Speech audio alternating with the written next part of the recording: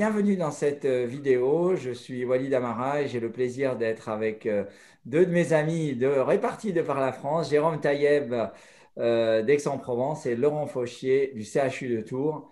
c'est une, réunion sur le thème de la fibrillation atriale et dernières recommandations. On a la chance d'avoir Laurent Fauchier qui est un des rédacteurs de ces recommandations.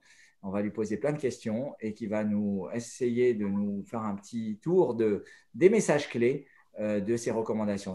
Euh, cette, réunion est organisée en partenariat avec euh, l'Alliance BMS Pfizer qui, apporte un soutien institutionnel au Collège national des cardiologues des hôpitaux que je remercie encore. je, donc, je passe la parole à Jérôme Fayet. Voilà, je vais juste enchaîner pour à mon tour remercier Walid de, cette organisation, Laurent d'être présent pour nous faire le plaisir de son expertise en tant que co-auteur, Franck Albert, euh, en tant que président du CNCH, euh, qui euh, nous permet de faire tout ça, Émilie Amadei, qui travaille dans l'ombre, ainsi que Alessandro qui est à l'origine des Zooms. voilà, donc vous êtes au moins 500 connectés. J'espère que vous allez pouvoir bien profiter de cette session qui sera, j'espère, interactive. Vous pouvez poser des questions techniquement par la technologie Zoom en, vous inscrivant. Et donc, on va donner la parole à Laurent pour qu'il nous expose euh, donc euh, les informations importantes et pertinentes sur les nouvelles recommandations 2020 qui suivent les recommandations de 2016 sur la fibrillation auriculaire. Merci Laurent. Merci les amis. Je mets le partage d'écran. Euh, ben, je suis ravi d'être avec vous ce soir et je remercie le CNCH, son président, l'ami de notre région, Franck Albert, puis Walid et Jérôme, pour vous résumer euh, à ma manière euh, les, éléments un peu clés des recommandations 2020 sur la prise en charge de la fibrillation atriale. Alors, ça va poser problème si par ailleurs j'arrive pas à avancer. Les aléas du direct. Alors, je mets le partage en pause si vous m'autorisez. Oui, bien sûr, on s'autorise.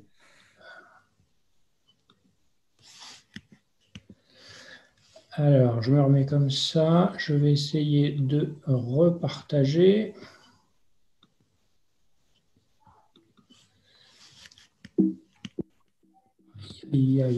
Alors.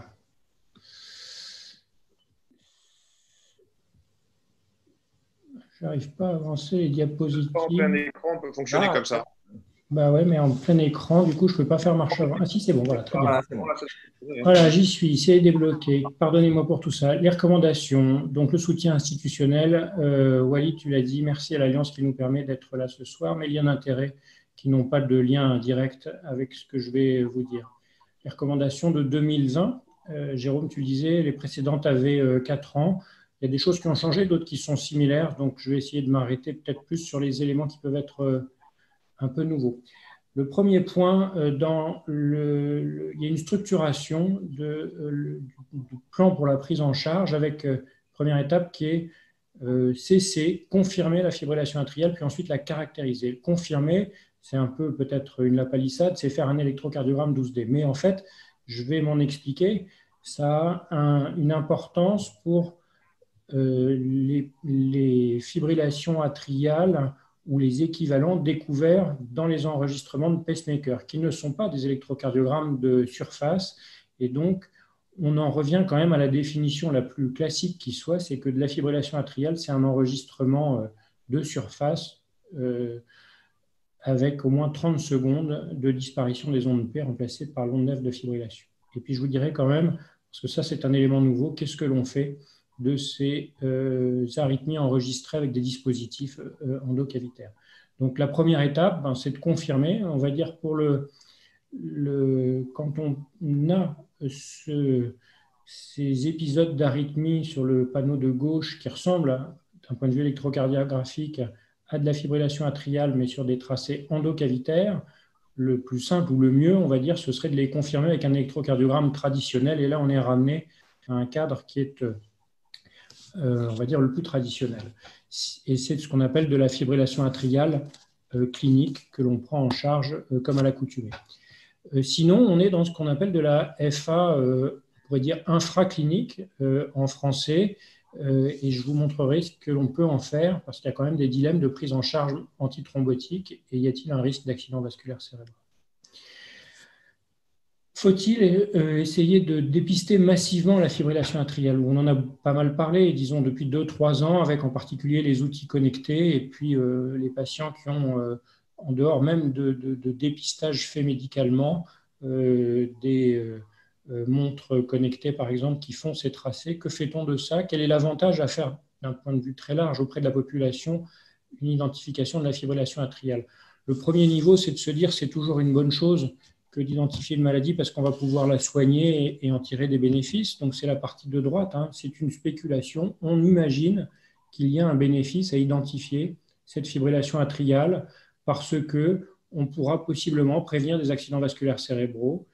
On pourra sans doute, possiblement, euh, éviter une insuffisance cardiaque et puis euh, de ce fait réduire la mortalité. Voilà, c'est la vision euh, optimiste de la situation. On dépiste, on traite, il y a un bénéfice. Puis les choses sont probablement plus compliquées que ça. On s'est rendu compte, et vous l'avez sans doute remarqué quand des patients vous appellent avec ces arythmies, c'est-à-dire que ça génère aussi beaucoup d'inquiétudes. Et on se demande si ce n'est pas le principal résultat euh, à ce stade que l'on peut constater. Et puis, euh, le problème de confirmation de diagnostic, de diagnostics qui sont erronés. Et puis, comment on traite, et ça, c'est, quel bénéfice? Est-ce que vraiment traiter, donner des anticoagulants, on n'aura que le bénéfice sur les AVC et pas les accidents hémorragiques? Donc, voilà, ça c'est un élément pour faire simplement la photographie des avantages et des inconvénients. Et pour le moment, on n'a pas de certitude qu'il faut faire un dépistage massif, on en est là. L'autre point sur lequel euh, je reviens, c'est les, termes à employer. Paroxystique persistante permanente, ça, ça reste toujours à l'ordre du jour. Il y a des termes qu'il ne faut plus utiliser. C'est-à-dire que déjà, ça prêtait à confusion, mais là, il est clairement indiqué qu'il ne faut plus utiliser les termes de fibrillation atriale valvulaire ou non valvulaire parce que euh, on se mélange plus qu'autre chose et puis c'est extrêmement difficile à, expliquer aux étudiants avec les nuances que nous avions cardiologues. Euh, et, donc finalement, il y a la, fibrillation atriale avec rétrécissement mitral ou prothèse mécanique et puis les autres ont une maladie valvulaire associée et on peut s'en sortir très bien. Le terme de FA chronique, euh, je suis assez content qu'on dise qu'il ne faut pas l'employer parce que finalement, on peut avoir, le terme était un peu utilisé à la place de fibrillation atriale permanente, mais on peut très bien en fait avoir de la fibrillation atriale paroxystique depuis 30 ans, et c'est difficile de dire que ça n'est pas une maladie chronique. Donc, à nouveau, évitons les confusions. On n'emploie pas le terme de fibrillation atriale chronique, ça évite aussi les confusions. Alors, on a, euh, après le deuxième C de confirmer, caractériser la fibrillation atriale. Les, et là, c'est un premier euh, acronyme 4S hein, euh, pour voir en fait quelle est la gravité et qu'est-ce qu'il va falloir prendre en charge avant d'attaquer le traitement. Le premier point, c'est d'évaluer le risque d'accident vasculaire cérébral, stroke, et ça va être avec le score SHATVASC. Les symptômes, parce qu'une bonne partie du traitement rythmologique va s'attacher à soigner les symptômes, et ça peut être avec euh, la classe EHRA, qui n'est pas si éloignée que de la classe NYHA en incluant les palpitations. Et puis les deux S derniers, sévérité de, la charge en FA et puis évaluation du substrat. Là, c'est avec l'arrière-pensée, non pas de faire de la physiopathologie gratuite, mais c'est pour voir si l'oreillette est vraiment très malade et pour savoir si un traitement de contrôle du rythme est envisageable avec un taux de succès euh, raisonnable. C'est surtout ça qui est, qui, est, qui est, important dans cette partie-là. Et c'est euh, là aussi, ça va décider un peu de la stratégie de contrôle du rythme ou pas pour la suite. Et puis enfin, une fois qu'on a confirmé et caractérisé, il va falloir traiter. Et là, c'est euh, l'acronyme que euh, un collègue anglais, Greg Lip, avait proposé depuis trois ou quatre ans, et puis qui est passé, reconnu, validé dans les recommandations ABC, a pour, on va dire, les anticoagulants et l'AVC, je vais m'en expliquer. B pour le bon contrôle des symptômes, mais en fait, c'est beaucoup tout ce qui va relever de ce qu'on appelait autrefois le, contrôle du rythme et de la fréquence. Donc, c'est contrôle des symptômes par euh, la cadence ventriculaire acceptable et essayer de faire que la fréquence soit au mieux et si possible avec le rythme sinusal. Et puis, c'est comorbidité, contrôle des facteurs de risque, parce que euh, si on ne s'occupe pas de cette partie-là, ben, on n'arrive pas à faire tourner tout l'engrenage et ne se focaliser que sur un aspect des choses, c'est probablement euh, ne pas optimiser le pronostic, c'est cette prise en charge globale qui va être nécessaire. Le A de AVC anticoagulant, c'est pas là où il y a le plus de choses révolutionnaires. Disons que la structure générale reste la même. On identifie d'abord les patients à très faible risque avec le score Schatz-Vasque, 0 chez les hommes, 1 chez les femmes. Si euh, les, chiffres sont peut-être 5 à 10% des patients euh, avec fibrillation atriale sont dans cette frange de très bas risque. S'ils ont la chance d'être avec ces scores très bas, il n'y a pas besoin de traitement antithrombotique. Si tel n'est pas le cas, on va donc euh, se faire l'idée qu'il va falloir possiblement mettre un traitement anticoagulant. Mais avant de, partir aux anticoagulants, on va essayer de limiter le risque puisqu'il y a des facteurs qui sont modifiables, des facteurs de risque d'AVC. Parmi ceux qui sont modifiables, l'âge ne l'est pas, mais le contrôle de l'hypertension artérielle en particulier est un élément sur lequel euh, on peut euh, intervenir. donc là, ça va être le, point important. Et puis, il y a les éléments de risque hémorragique qui sont modifiables. Il est indiqué qu'on peut utiliser le score ASBLED. Ça a été un énorme pugilat pour savoir quel score il fallait employer ou pas, mais en tout cas, il est bien marqué score ASBLED. Et il y a au sein du score ASBLED des facteurs modifiables. À nouveau, le contrôle de l'hypertension artérielle, le fait d'éviter les INR labiles, d'avoir des interactions médicamenteuses malvenues.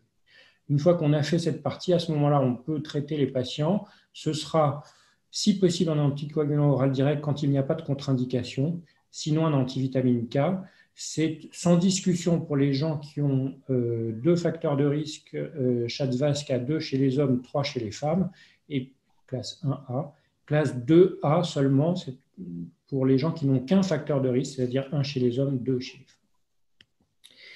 Alors, les points les plus euh, spécifiques et pointus euh, relèvent du problème récurrent de la fibrillation atriale et de la maladie coronaire, et en particulier des malades qui ont syndrome coronarien ou stenting. Je vais vous le faire euh, court. L'idée, c'est qu'on commence par une triple thérapie, mais celle-ci doit être la plus courte possible pour limiter le risque hémorragique.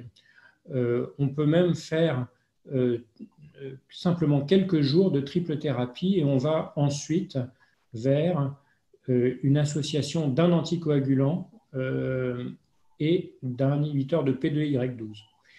Euh, deuxième étage où là aussi on essaie de faire au plus court sur la euh, bithérapie. Quand il y a un risque hémorragique élevé, il faut trouver un compromis entre le risque ischémique et le risque hémorragique.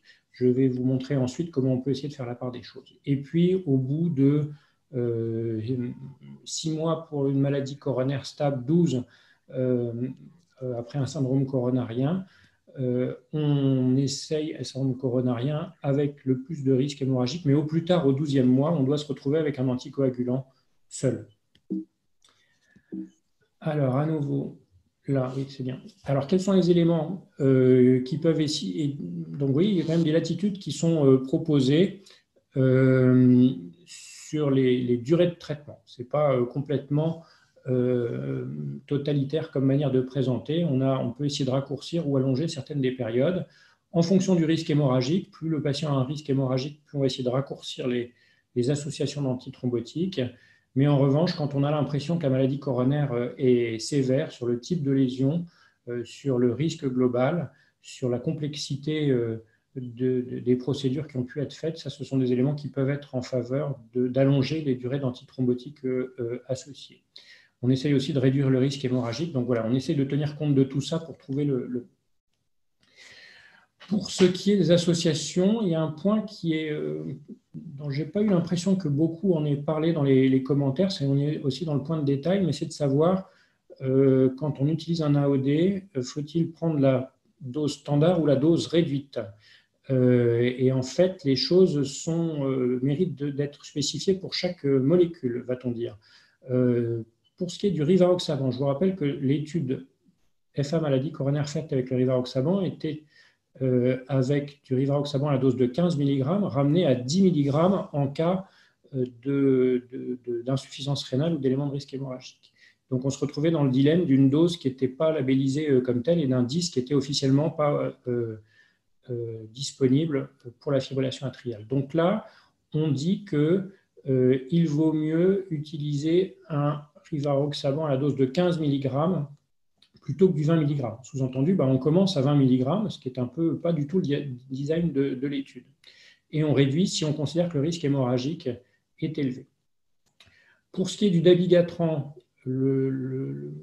l'étude elle-même était bien faite avec les doses standards, 110 et 150, mais il est indiqué également que euh, ben, en cas de risque hémorragique, euh, on propose, alors que c'est hors, c'est en dehors du libellé strict du dabigatran, mais de passer au dabigatran à dose réduite. Alors même qu'on pourrait presque discuter de la bonne stratégie au résultat de, l'étude entre le 150 et le 110. Et puis enfin, celui qui n'y est pas euh, spécifiquement, c'est l'apixaban, parce que la stratégie elle est encore différente. Là, on utilise les doses telles qu'elles sont dans le libellé, puisque l'étude euh, euh, dédiée à l'apixaban dans la maladie coronaire a montré qu'on avait un bénéfice à suivre la stratégie la plus traditionnelle. Donc vous voyez que c'est pas, on ne peut pas généraliser en disant il faut utiliser une dose réduite ou standard pour ces patients. Quand on utilise un antivitamine K, vous voyez, on, indique bien que c'est entre 2 et 2,5 pour l'IN.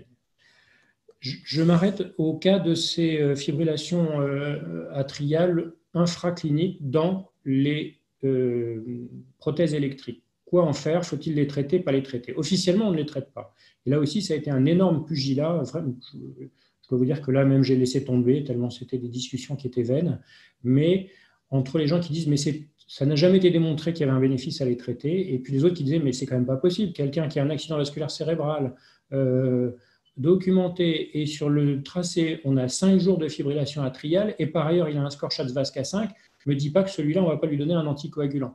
Donc on a fait, vous voyez, c'est un paysage assez impressionniste avec des nuances. C'est pareil, c'est pas complètement, euh, il n'y a pas des, zones euh, très tranchées, mais enfin, vous voyez qu'on passe du vert au rouge ou en fonction du sens clinique, finalement, c'est au moins cet avantage-là, ça laisse cette place au médecin à son appréciation, qui peut prescrire un anticoagulant quand il considère que le risque de manière euh, de bon sens est trop élevé et qu'on n'a que ce type de fibrillation atriale dans les prothèses électriques.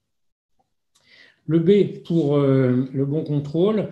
Euh, peu de choses à dire hein, sur le, contrôle de la fréquence cardiaque. Je vais quand même le, point important, c'est que finalement, il est considéré en premier par rapport au contrôle du rythme, alors que pendant longtemps, la fibrillation atriale, on contrôle le rythme et puis la cadence ventriculaire. Non, là, il est bien indiqué qu'on commence, et ça peut se suffire à soi-même, de contrôler la fréquence cardiaque avec les produits que vous connaissez, bêta-bloqueurs euh, en particulier, euh, euh, le fait qu'on ne peut pas utiliser de calcique en cas d'insuffisance cardiaque.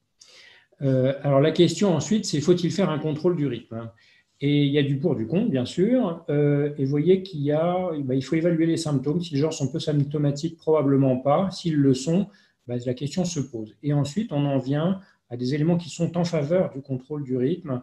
Le fait que ce soit un premier épisode et un patient plutôt jeune, et le fait, vous voyez, euh, qu'il est indiqué ici, peu de comorbidité, le, fait que l'oreillette, il y a un remodelage qui soit relativement limité. En d'autres termes, le fait qu'on a des chances raisonnables d'obtenir le rythme sinusal et de le maintenir. Le but n'est pas d'obtenir le rythme sinusal pendant 24 heures. Donc là aussi, c'est à l'appréciation un peu du, médecin.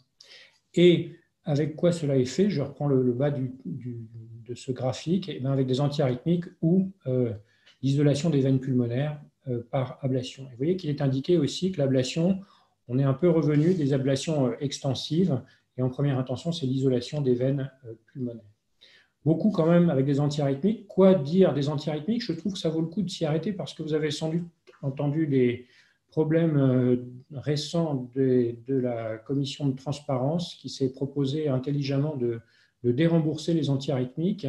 Et on se retrouve donc avec les recommandations qui disent absolument pas ça. C'est-à-dire que la première, vous voyez, c'est ce que je vous ai mis ensuite, c'est que les antiarythmiques, on n'en a pas besoin de un euh, qui serait la myodarone, mais de beaucoup, et qu'il n'y en a pas forcément un qui est meilleur que les autres. On peut débattre de ça, mais on sait que l'histoire, c'est qu'il va falloir se servir de plusieurs antiarythmiques pour pouvoir tenir la distance. Et il est très possible que s'il y en a un qui échoue, eh bien, on peut passer au suivant et avoir une réponse acceptable pendant plusieurs mois ou années. Donc on a besoin non pas de voir les objectifs à court termiste à six mois, mais d'avoir plusieurs antiarythmiques pour tenir la distance. Le deuxième point, il est indiqué pardon, ici que L'amiodarone, très bien, c'est quasiment ce qui nous resterait si les autorités en restent là où elles sont actuellement, mais les recommandations, elles marquent en premier qu'il ne faut pas prescrire d'amiodarone chaque fois que c'est possible. 1A, c'est difficile de faire plus que ça hein, quand même. Pourquoi? Bah, Parce que vous le savez, il y a plein d'effets secondaires et qu'on va vers ces effets secondaires. Et donc, il faut d'autres antiarythmiques chaque fois que c'est possible pour éviter ces effets secondaires. Euh, la crainte des autorités, je, me mets un peu finalement en, chaque fois en, parallèle des, commentaires, mais on est un peu bien obligé de, s'y tenir, des, autorités, c'est qu'il y a des effets secondaires avec les antiarythmiques de classe 1. Oui, c'est possible, on a fait quand même d'énormes progrès ces 20 dernières années, en particulier des, arythmies, des kinidéniques, ça n'existe plus en particulier, c'est ce qui est indiqué ici, prescrire un bêta-bloqueur avec la flécaïne. Ah, ça se remet. Ah. Alors, euh, que fait-on pour l'ablation? Alors l'ablation, je vais m'en limiter à dire que c'est une recommandation de niveau 1 pour les patients qui sont symptomatiques, euh, malgré le traitement, parce que ça permet, classe 1, de diminuer les symptômes. Et puis, en cas d'insuffisance cardiaque, apparaît un niveau de recommandation 2A, non pas parce que ça diminue les symptômes, ou du moins ça peut les diminuer, mais parce que ça va améliorer le pronostic. Et ça, c'est quand même un point important, et c'est en particulier en cas d'insuffisance cardiaque, avec à nouveau le dilemme bah, du fait que le maintien du rythme euh, est difficile, mais que c'est aussi là où on peut avoir un bénéfice de mortalité. Pour les antiarythmiques, ben, vous voyez que dronédarone, nous ne l'avons pas actuellement. Flécainide, propafénone, on se propose de nous enlever. Sotalol, on ne l'aurait plus. Et donc, euh, on est loin, loin de, des recommandations. On est, après, l'algorithme est assez similaire à ce qu'il était. Un cœur sain, ces antiarythmiques de classe 1. Dès qu'on a un cœur malade, on évite ramener à l'amiodarone, en cas d'insuffisance cardiaque en particulier. Euh, voilà pour le B. Le C, je vais passer rapidement. En fait, je vais aller sur la partie B, C euh, mêlée. C'est la prise en charge de ces différents éléments de comorbidité. Au premier chef, celui pour lequel le niveau de preuve est, le mieux établi, c'est l'hypertension, parce que c'est un élément du Schatzvas, du Hasbled. Et puis, il y a des études, le bénéfice de traitement de l'hypertension, il est reconnu par tous dans toutes les pathologies. Et en plus, il y a des données maintenant observationnelles de gros effectifs montrant bien que quand on obtient une, hypertension, une pression artérielle en dessous de 30, c'est-à-dire les définitions euh, à l'américaine, on a un pronostic qui est meilleur avec moins d'accidents vasculaires cérébraux. L'obésité, là, il y a des données aussi maintenant qui sont bien reconnues, avec des niveaux de preuves qui sont, enfin, de recommandations qui sont classe 1 pour le cas particulier des gens qui ont une ablation, parce que c'est là où on a le moins de récidives, c'est quand on arrive à faire euh, à obtenir, à normaliser le poids chez les patients obèses. Donc, un chez ces patients, ce n'est pas pour tous les autres cas de surpoids. La plupart, quand même, des patients qui ont de la fibrillation atriale, à l'échelle nationale, les chiffres, c'est 80 ans, l'âge moyen. Donc, forcer une personne de 80 ans à lui faire perdre du poids, ça peut aussi avoir des effets délétères. Donc, c'est pour ça que les propositions sont de faire baisser le poids, mais avec un niveau de recommandation un peu plus faible, 2A, hormis le cas de euh, l'ablation. Euh, l'alcool, c'est pareil, il y a un niveau de recommandation, bien sûr que ce n'est pas bon pour la santé, ça peut favoriser l'hypertension, l'accès de fibrillation atriale. Le problème, c'est comment est-ce qu'on fait arrêter l'alcool chez les gens, et là, toutes les études interventionnelles, on ne sait pas trop où on va, et ça n'a pas été trop bien démontré, donc le niveau de preuve est un peu plus bas. Un peu pareil pour l'apnée du sommeil, bien sûr, ça précipite la fibrillation atriale, mais le traitement lui-même, on ne sait pas tous si on est bénéfique ou délétère. Euh, dans la science cardiaque, par exemple, il y a une surmortalité dans certaines études, donc là aussi, niveau de preuve, on va dire intermédiaire. La morale de cette histoire, c'est qu'il y a aussi ben, tout ça à prendre en compte. Et l'idée, c'est, quand on dit une prise en charge intégrée, globale, holistique, les termes paraissent un petit peu euh, être euh, faussement modernes l'image, moi, qui m'a paru, c'est de dire on ne soigne pas un électrocardiogramme, c'est on soigne un patient. Et un patient avec ses comorbidités, ses symptômes, euh, euh, ses, projets de vie, comme on dit, mais enfin surtout quelles sont ses attentes et ce qui est raisonnablement euh, atteignable pour lui. Donc c'est ça un peu cette idée de, prise en charge intégrée avec des professionnels de santé qui peuvent aller au-delà du, du cardiologue ou des spécialistes en rythmologie. Avant de conclure, il y a juste un point, c'est la cerise, on va dire. On a beaucoup parlé de, des problèmes de quoi faire des problèmes de fibrillation atriale post-opératoire. C'est une entité presque un peu à part. Je ne vais pas vous détailler tout le système, vous le regarderez si vous le souhaitez, mais il y a une proposition de, prise en charge pour la fibrillation atriale post-opératoire qui n'est pas extrêmement spectaculaire, hein, qui est simplement, on a tout un tas d'éléments pour essayer d'éviter que ça survienne. Et puis si on est gêné, on la traite comme telle. Mais vous voyez, pour ce qui est de l'anticoagulation, l'idée est plutôt de se dire, euh, ça se soigne en termes d'antithrombotique comme une autre fibrillation atriale. L'idée de se dire, c'était très contingent, ça ne reviendra jamais, c'est un peu s'illusionner et il vaut mieux la traiter comme une fibrillation atriale conventionnelle plutôt que d'arbitrer que c'était un accident de parcours et qu'on n'anticoagulera pas. c'est un petit peu le, sens de tout ça. Euh, mes conclusions, c'est celle-là. Donc, il y a le CC et ABC. Et puis, cet ABC, on, a bien sûr, comme c'est un document qui fait 120 pages, le fait de mettre des acronymes, c'est un moyen un petit peu quand même que les gens ne se perdent pas et d'arriver à les tenir dans la stratégie et qu'ils puissent euh, euh, ne pas trop oublier tout ce qui est listé on est quand même, euh, voilà, même s'il n'y a pas d'éléments nouveaux, le gros du bénéfice démontré, ce qui est plus puissant, c'est les traitements anticoagulants et en particulier les anticoagulants oraux directs. Donc je pense que ça reste, même si maintenant je pense que les, faits sont acquis, euh, un point euh, important de cette prise en charge. Voilà, je voulais résumer ici, à ma manière, avec ma traduction en français, le CC et le ABC pour la prise en charge de la fibrillation atriale. Voilà, je suis à votre disposition pour toutes les questions dans lesquelles je pourrais répondre dans la mesure de mes compétences. Merci beaucoup, euh, Laurent, pour cette présentation. Est-ce que tu pourrais arrêter le partage qui nous permettra de te voir en plein écran? Ah, je ne sais pas si je vais pouvoir arrêter le partage parce que je trouve qu'elle est très belle, celle-là. Voilà. Euh, donc, merci encore pour cette présentation qui était très claire. C'était un très bon résumé. Euh, personnellement, j'ai vu la, vidéo des, recommandations plusieurs fois pour m'imprégner parce que vu la multitude des messages, et, je voudrais d'abord poser une question que je me suis toujours posée. Comment ça se passe, la, mise en place des recommandations On dit classiquement que c'est toujours un compromis, des discussions, etc. Comment ça se passe dans les coulisses? Alors, il y a des, c'est censé être, euh, on discute, hein, voilà. Et bon, c'est là aussi où on se voit que les plus têtus euh, sont ceux qui arrivent le plus volontiers euh, à leur fin, mais il y a quand même un, il y a des votes, hein, donc il y a ce qu'on appelle, il y a un vote, donc c'est quand même pas totalement arbitraire. Hein. Il y a des votes et il faut qu'on obtienne de mémoire 85%, donc on a beaucoup voté. Bon. Là où ça a été plus tendu, ça n'a pas été tellement au sein de, des rédacteurs. bon, se réunit, finalement, on se fait des amis, on discute. Ça a été, là où ça a été vraiment tendu, c'était le processus des reviewers. Je ne rentre pas dans les détails, mais il y avait vraiment des querelles de personnes. Et donc, il y a eu euh, plusieurs allers et retours avec la coordination des reviewers qui ne voulaient pas lâcher certains points, alors même que euh, tout le monde avait voté, qu'il y avait une unanimité quasiment, et le reviewer, euh, voilà. Donc, quoi faire quand un reviewer, un président des reviewers ne veut pas lâcher le morceau alors qu'il a l'unanimité contre lui? Voilà, c'était un peu ça qui était difficile.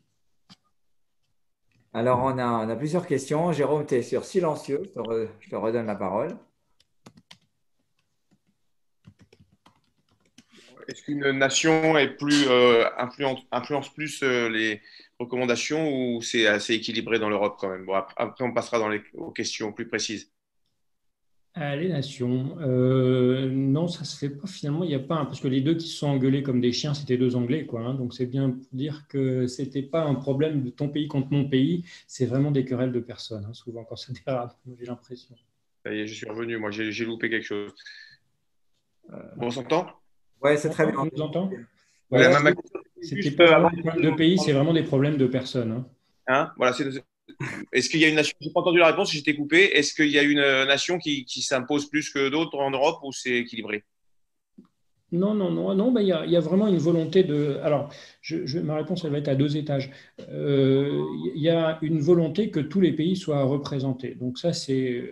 Il y en a quelques-uns qui le sont un peu plus que d'autres. Hein. On n'était que deux Français. Le, deuxième était un collègue euh, représentants des médecins généralistes de, notre région. Euh, sinon, bon, disons que c'est à peu près euh, réparti, mais euh, il y avait aussi, il n'y avait pas que des cardiologues, hein, c'est ça aussi que je voulais vous, indiquer, hein, puisqu'il y a donc le collègue généraliste, il y avait des, cardiologues qui n'étaient pas spécialement des rythmologues, il y avait aussi des gens qui étaient des représentants des patients, c'était loin d'être majoritaire, hein, mais il y a quand même un souci de faire que ce ne soit pas spécialement à faire de cardiologues euh, qui sont des aficionados de leur euh, sous-domaine, soit de l'électrophysiologie, soit de la thrombose. Hein. Sinon, ça perd un peu de son intérêt. De toute façon, c'est partons aussi du principe que c'est reviewé par des gens qui sont des cardiologues généralistes donc, et qui ont cette vision de l'applicabilité. Hein. Je pense que c'est un gros souci aussi qu'on fait des recommandations, mais si les collègues dans notre domaine ou à côté de notre domaine ne les lisent pas, en particulier la fibrillation atriale, 2,5 2 millions et demi de gens en France, si les collègues généralistes ne peuvent pas y avoir accès ou c'est totalement hermétique pour eux, c'est un échec. C'est raté si on n'a pas fait ce travail-là pour les recommandations. Alors, question, par exemple, c'est euh, le Schatzvask égale à zéro. C'est toujours quelque chose sur lequel je ne suis pas très à l'aise. C'est-à-dire que sur de très vieilles recommandations, on mettait les critères échographiques, la taille de l'oreillette, etc. Qu'est-ce qui est dit dans ces recommandations et comment on s'en sort en pratique? Schatzvask à zéro, il reste quand même, euh, euh, ça reste quand même des gens qui ont un risque très faible. Hein. Un chat à zéro, le risque annuel, il est à 0,5, 0,6, 0,7. la question qu'on dit, d'accord, un chat à zéro, mais le gars, il est en fibrillation atriale permanente. Euh, ça n'existe quasiment pas. Les gens qui ont un chat à zéro avec une fibrillation atriale permanente, ils sortent de ce cadre-là. Pour, pour, avoir regardé un peu dans mes, dans mes séries, mes bases de données, c'est des gens, ils ont ils ont autre chose manifestement, c'est des cardiopathies congénitales. Enfin, l'évidence fait qu'ils ont un chat de vasque à zéro, mais qu'on ne se posera pas la, question. Ou bien, ce que j'avais trouvé, c'était des gens, ils avaient des obésités à, 200 kg. Quoi. Donc, euh, certes, l'obésité n'est pas un facteur de risque, mais c'est des, vraiment c'est des, des, raretés, le chat de vasque à zéro qui a une fibrillation atriale permanente. Hein. donc, Il y a plusieurs questions qui ont été posées par... Euh, nos collègues euh, sur l'anticoagulation. Et après, moi, j'aurais une question sur l'ablation.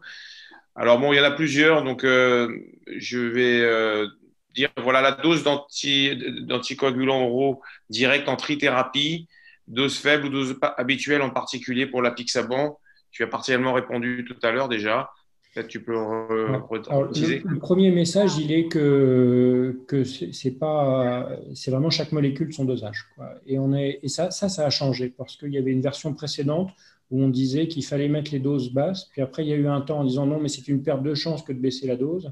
Puis après, on a eu les trois études où une était avec un, produit vraiment à dose basse. Le deuxième, où il y avait les deux possibilités avec euh, des, vraiment des avantages et des inconvénients pour le dabigatran pour les deux et enfin la Pixaban pour lesquels euh, la dose était la plus standard qui soit. Et donc, j'avais vraiment l'impression que on allait d'un un qu'il fallait vraiment prescrire à dose, prescrite, à dose réduite, l'autre qu'il fallait vraiment prescrire à dose normale pour la Pixaban, et le dabigatran pour lequel euh, c'était un peu à l'appréciation. Là, c'est quand même indiqué que euh, le rivaroxaban peut être prescrit à 20, ramené à 15. Euh, volontiers dès qu'il y a un risque hémorragique, hein, euh, et un peu pareil pour le dabigatran. Et la pixaban, en revanche, finalement, c'est presque plus simple, hein, et l'étude le démontre assez bien. Hein, c'est peut-être d'autres questions, mais enfin, ça, ce point-là a le mérite d'être assez clair. Euh, la stratégie, elle est vraiment traditionnelle, et on a, on a beau mettre une triple thérapie, il faut faire en théorie, un dosage le plus traditionnel qui soit. Après, on est tous des médecins, on a le libre cours de dire non, là, c'est vraiment, si vous considérez que votre score euh, Asbled, ça peut aller assez vite hein, quand même. Un score Asbled chez un coronarien, ils sont hypertendus, il a plus de 65 ans, il, prend, il a le D de, de drogue pour anti-agrégant plaquettaire, il est à 3. Hein, donc vous avez la possibilité de réduire euh, aussi de, ce point de vue-là. Hein. donc c'est. Euh, bon, voilà, on est quand même un peu prescripteur. Mais voilà, les, les, molécules, c'est Apixaban a priori, on ne baisse pas. Les autres, il, est quasiment, certains disaient, mais on ne va pas prescrire du rivaroxaban avec une tripothérapie à, à, 20 mg par jour. On ne peut pas le marquer, ça. On n'a pas la réponse, mais voyons, on a essayé de nuancer tout ça. Tu, as parlé de facteurs modifiables de chasse vasque, l'hypertension par exemple. Est-ce que ça te permet de, si tu as une hypertension parfaitement contrôlée à 12, de retirer euh, le point euh, du, de, ce chasse vasque, le point attribué à l'hypertension parce qu'elle est contrôlée. Euh, alors là, il y a une nuance. C'est vraiment c'est pour ceux qui sont des, fans de ça, hein, mais le H de hypertension dans Chatzvask, ce n'est pas exactement le même que le H de l'hypertension dans Asbled. Je m'explique. Le H de Chatzvask, c'est hypertension, quelle qu'elle soit traitée, équilibrée, pas équilibrée. Alors que le H dans Asbled, c'est une pression artérielle définie comme supérieure à 160, euh, c'est-à-dire une hypertension pas équilibré. donc là, je ne suis pas sûr que. Je, je, pas, c'est vraiment du point de détail, hein, mais c'est, un point euh, à savoir aussi. Donc, dans tous les cas, je pense qu'il y a un bénéfice, mais c'est surtout vrai sur le bénéfice euh, hémorragique, que l'on va limiter le risque hémorragique en stabilisant bien la pression euh, artérielle. Euh, c'est plutôt dans ce sens-là qu'il faut le, voir.